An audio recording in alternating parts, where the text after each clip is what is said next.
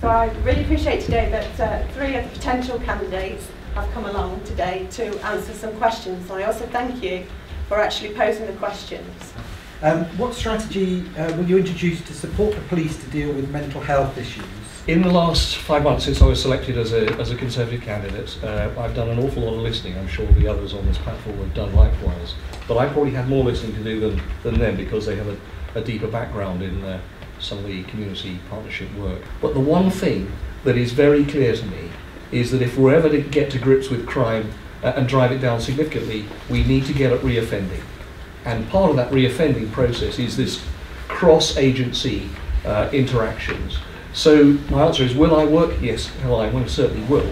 Uh, and will I uh, invest? Yes, but I say wisely and on an evidential-based um, uh, basis, i.e. making sure that we do spend our money where it has the effect. And I'll be looking to make sure that we work with organisations that can achieve the effect that we need, and looking and seeing how you know how well you know this all works.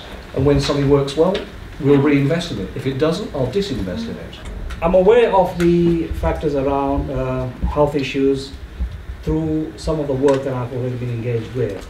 Work that I've been engaged with the Home Office on issues of counter extremism and the issue that mental health plays in relation to issues of that nature.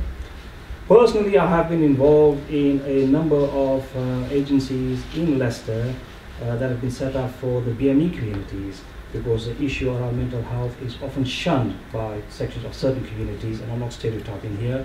So I believe it's of paramount importance that those that are weak and vulnerable in society need the support, and by all means, I would pledge that certainly we will support uh, the work that you do. In fact, we'll support most volunteer work that we do for a simple reason is I come from the volunteer sector. I've been doing volunteer work for the last 25 years, so I'm quite aware of some of the dynamics that uh, exist out there. The question around what strategy would we introduce and how would we work, um, I think is, is quite an exciting one really. I know the police all, have already put in a significant amount of training for frontline officers to try and make sure that they are able to respond in a way that doesn't make a situation worse for individuals with mental health difficulties. But I think we've got a long way to go. In terms of police resources, we know they're decreasing. Along with the rest of the public and voluntary sector, there is such a tight squeeze. So we need to make sure that people get the best possible interventions at the best possible moment.